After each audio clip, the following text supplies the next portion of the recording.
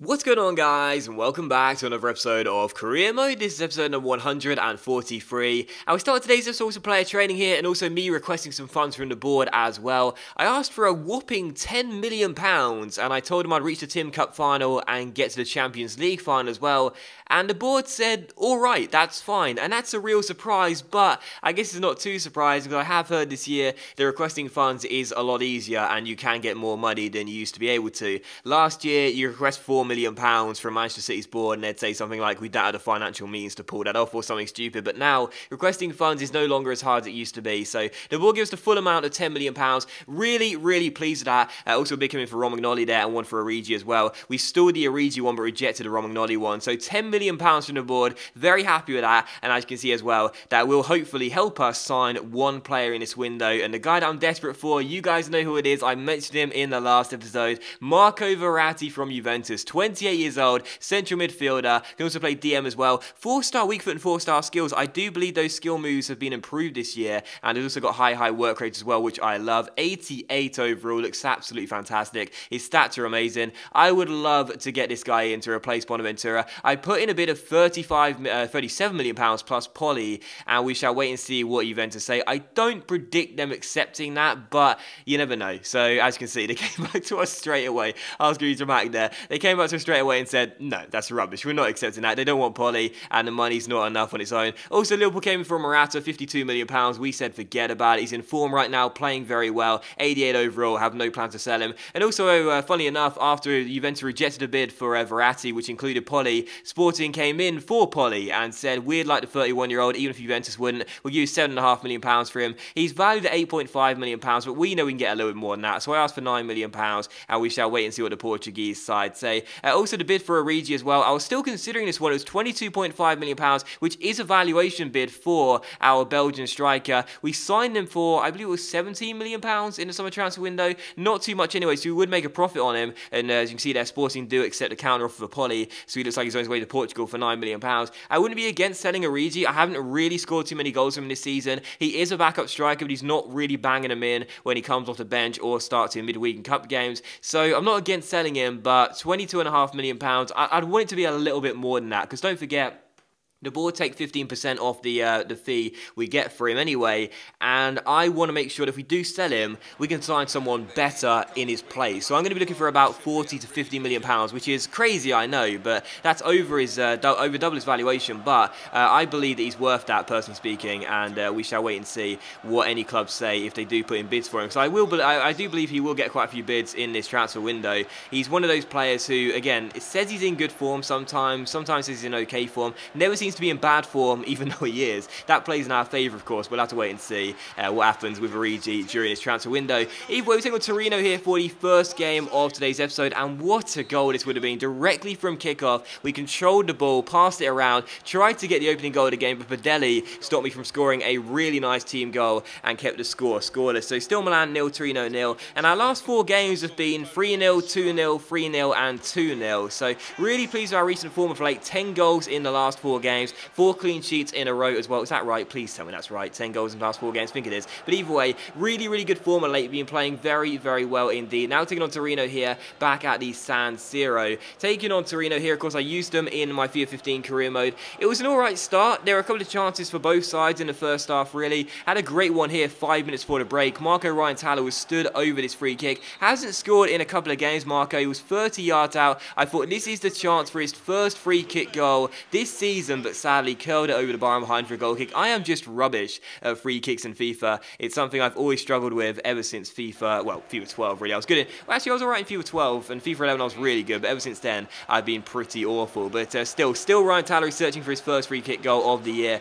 and it's still Milan nil, Torino nil. In the second half though, Torino came out of the blocks flying. I felt we played better in the first half, had a bit more possession as well. But in the second half, Torino looked really strong. Five minutes after the restart, Djokovic had to make a good save there and keep it at nil nil. From the corner, we failed to deal with it. It came to Parigini here, through to Benassi. Eventually, Davison goes for goal, but Djokovic once again makes the save, and the Canadian looks for his fourth clean sheet in a row, and Milan's fifth in all competitions with Gabriel picking up one as well. So still Milan nil, Torino nil. The final chance fell in the 83rd minute. We saw a header well saved by Padelli, and then a second header cleared off the line, and the game did finish here at the San Siro. Milan nil, Torino nil. So disappointed not to extend the win streak to five in all competitions, but it is now five clean sheets in a row in all competitions for Djokovic with four and Gabriel with one. So a nil-nil draw. It's not a bad result. Torino are in 14th place, and we are the home side, so you'd expect us to win that, especially with 10 goals being scored in the last four games as well. But we're still top of the table, and I'll look at the positives and say we've got a clean sheet, and that's now five in a row. But uh, still, falling out with some player training here for City Guardi and Reinthaler, and check it out, get in, excellent stuff. I am so pleased to see this.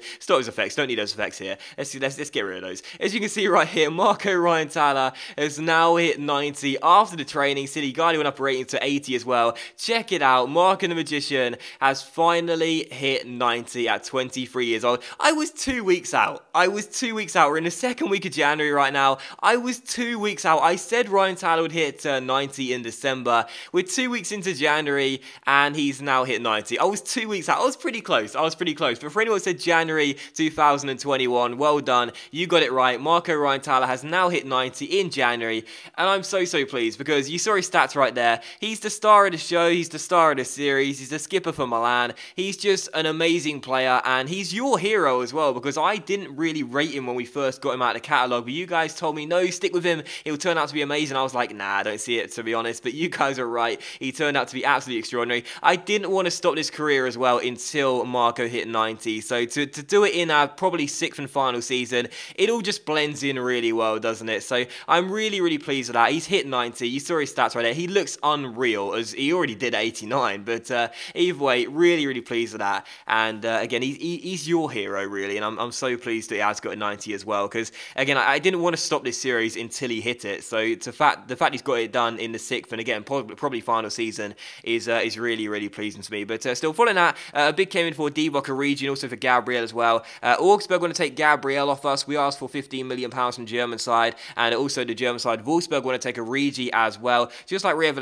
Did. I asked for 50 million pounds though. I don't see them matching that, but uh, either way, I did say that I wasn't going to sell Origi unless we got about 40 to 50 million pounds. So we'll go big. We'll see if Wolfsburg are going to match it. Probably not. We asked 50 million pounds though, and we'll wait and see what they say. Either way, we take on Cagliari here for the second and final game of today's episode in the Tim Cup here at the San Siro, taking on Cagliari in the Tim Cup round of 16. And what a start to the game as well, because just 12 minutes in, he's under transfer bid right now from Wolfsburg. Divock Origi shows what he can do. What a lovely goal this was. Berba spin, heel to heel flick, stops the ball, and then a Blanco hop, a skill move I don't use very much. And then as he slips, he halfways the ball into the top corner, and the Belgian scores his first goal in a few games and makes it Milan 1, Cagliari nil. So a great start to the game. We did feel the weakened side. Obviously, it's the Tim Cup. We'll always do that, even though we've now told the ball we'll try and reach the final. Either way, Origi with the goal is uh, first in this competition because it's the first game of the competition for us. And uh, also, I think his fifth goal of this season, sixth goal this season. Hasn't scored too many goals anyway, Origi. He does score there and opens the scoring and makes it Milan 1, Cagliari nil. So really pleased with that. Cagliari, though, were sensing the fact we weren't really taking this competition too seriously, even though it is around the 16 stage and fielding a weakened side. They had a couple of chances in the uh, first half here. We were still leading by a goal to nil. And after this header from the goalkeeper pass over in the back here, Origi gets onto the goal scorer, finds Suso down the right hand side, takes it around his man, gets into the area with the Berba spin and gets taken down by the Cagliari defender who puts his arm up. He knows it's a penalty. He's not going to complain about it. Suso tripped up, penalty to Milan and a chance to double our score as well. So penalty to Milan. Suso won it. Origi would take it though looking to double his goal tally and double our goals in the game as well. The Belgian stands up and smashes the ball into the top corner. Goalkeeper route to the spot. Milan 2, Cagliari nil, just past the half an hour mark. And for Divock Origi as well, I did say that I believe he can come good. You know, I really do believe that. I think he can be a good backup striker for us, but he hasn't given me too much confidence. But two goals in this game is uh, second brace of the season, I think, or maybe even his first brace, thinking about it. Either way, scores his second goal of the game here from the spot and makes it Milan 2, Cagliari nil. So we led by two goals nil at the break. We weren't weren't dominating though. Cagliari were playing quite well, just pretty unfortunate. We still live by two goals to nil, but 11 minutes after the restart though, look at this for a goal. I mean, this is genuinely Sunday League stuff. We make it 3-0 here. Verdi with his third goal of the season, I do believe, and this was just awful. And like the Cagliari defenders, I'm sorry, but this is just terrible. Gabriel comes out, clears the ball long, Origi flicks it on, Verdi latches onto it, runs around a couple of defenders, and just puts the ball into the back of the net. I mean, that is just absolutely terrible defending. Sunday League stuff, really. A simple long ball goal, and we make it Milan 3, Cagliari nil. So three goals in this game, an assist to add to the two goals that Origi scored. Three goals up, and in the 70th minute, Portillo comes off the bench for Origi, who was on a hat-trick. Thought I put him on the bench, though, and uh, give him some, uh, some rest time, if you will. And Portillo comes off the bench, makes it four, and the game is over. So Milan 4, Cagliari nil. We are going through to the Tim Cup quarterfinals. Really pleased with that. And our last six results have been 4-0, 0-0, 0 3 0, 2 0, 3 0, and 2 0. So in the last six games, absolutely fantastic run of form 14 goals, 0 conceded, 2 clean sheets for, uh, for uh, Gabriel, 4 for Djokovic as well. We've been in really good form right now, and this is great to see as well because we were stuttering a little bit prior to this run of form. Now, playing really well, looking unbeatable, and looking really, really strong both at the back and when going forward as well. Looking like the complete package here at Milan. So, really pleasing result through the quarterfinals of the Tim Cup, a easy man of the match, and a great performance as well. And that is going to be today's episode of Career Mode as well, guys. So thank you very much for watching the video. Really hope you have enjoyed it. If you enjoyed today's episode of Career Mode, then please do consider leaving likes. Of course, much appreciated. I really my channel out. You don't have to leave a like if you don't want to. And I'll see you for the next episode of Career Mode very soon.